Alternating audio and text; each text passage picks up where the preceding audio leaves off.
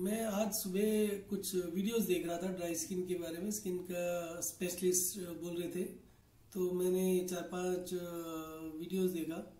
उन वीडियोस में जो ड्राई स्किन के कारण बताए गए थे, वो सुनकर बहुत कुछ हँसी आ रही थी।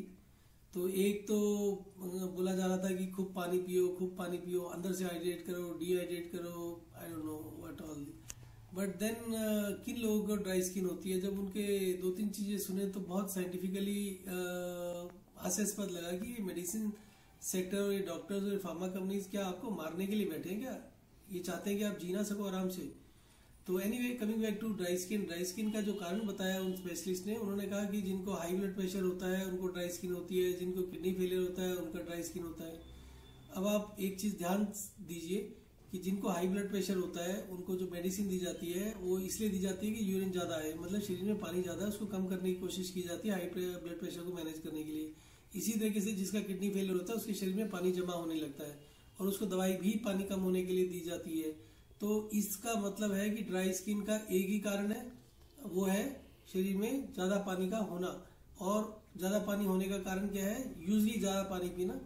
कई लोगों को ज़्यादा पानी हो जाता है, बहुत कम पानी पीने से भी बट वो उसको हम बाद में डिस्कस करेंगे। आज की डेट की जो मेन प्रॉब्लम है, जो एक बॉटल का जमाना हो गया है कि बॉटल लेके लोग चलते हैं और मिनट मिनट बाद पानी पीते रहते हैं, उसमें एक्सेस पानी शरीर में होना स्वाभाविक है। अब आपको मैं दूसरी इन्फॉर्मेशन देना चाहूँगा। दुनिया में इस समय हज़ारों लाखों लोग हैं जिन्होंने मेरा सजेशन पढ़कर एक्जिमा का इलाज किया है पानी को छोड़कर। 36 घंटे पानी को छोड़ना और उसके बाद अगले छह, आठ दिन के लिए सिर्फ़ आधा लीटर पानी पीना पूरे दिन के अंदर। उससे एक्जिमा लोगों का ठीक हुआ है सोरोसिस ठीक हुआ है, इतना हेल्थ कंडीशन ठीक हुआ है कि हैरान कर देने वाली बात है कि ये हाइड्रेशन नाम को हर जगह यूज़ करते हैं। हाइड्रेशन करना चाहिए एक्सरसाइज करना चाहिए। कम से कम ये बताना चाहिए तो हाइड्रेशन होता क्या है? अब आपको एक और चीज़ आप, अब आप देखने की कोशिश करिए कि और कौन सी कंडीशंस है जिसमें ड्राई स्किन होता है। मेरे ख्याल से हार्ट की प्रॉब्लम होती है तो भी ड्राई स्किन होगा। अगर आपको दूसरा ब्लड शुगर होगा डायबिटीज़ होगा तो भी ड्राई स्किन होगा। तो इन सब का कारण क्या है? इन सब का कारण एक ही कॉमन कारण है और वो है ज़्यादा पानी पीना और कुछ नहीं है। और इसके लिए कोई रॉकेट साइंस की ज़रूरत नहीं है।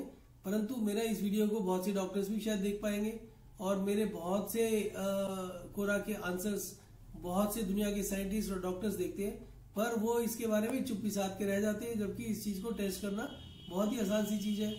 मेरे इतने सारे पेशेंट्स हैं जिनको खुजली होती है इचिंग होती है स्किन रैशेज होते हैं डार्क मतलब डार्क स्किन है कॉम्प्लेक्शन बहुत डार्क है, या सन टैनिंग हो रहा है, या पिंपल्स हो रहे हैं, इन सभी बीमारियों का एक ही इलाज होता है हाइड्रेशन डिहाइड्रेशन ये जानना बहुत ज़रूर मुश्किल होता है कि हाइड्रेशन किस पानी के लेवल पर होता है।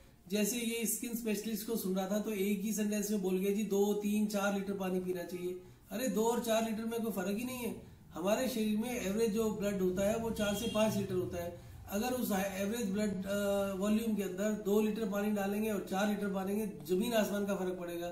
फिफ्टी परसेंट का फ़र्क पड़ रहा है और वो ऐसे ही जवान चलाते जाते हैं, बोलते हुए कुछ सोचते नहीं है। और ये डॉक्टर्स का बेसिकली काम क्या है? आपको ये भी सोचना चाहिए डॉक्टर्स के पास कोई भी सिस्टम नहीं है दुनिया का, जिससे कि वो अपने पेशेंट्स का फीडबैक फार्मा कंपनीज़ को दे पाए।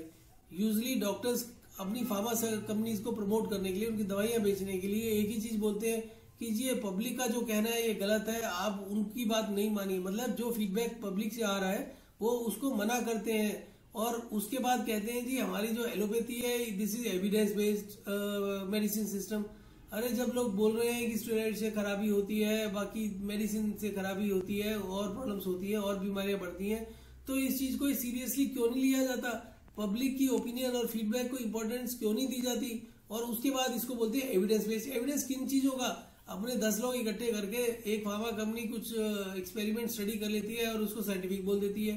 This is the way the whole of the system is working pharma companies को बंद करने का बहुत सख्त ज़रूरत आ गई है। आप अपने आप का खुद ख्याल रखिए। आज की डेट में इतने स्पेशलिस्ट हो गए हैं कि गिनती गिनना मुश्किल हो गया। अगर आप इन स्पेशलिस्ट की बात माने आपको खांसी आ जाए तो एक स्पेशलिस्ट के पास चले जाओ आपको कुछ प्रॉब्लम हो जाए।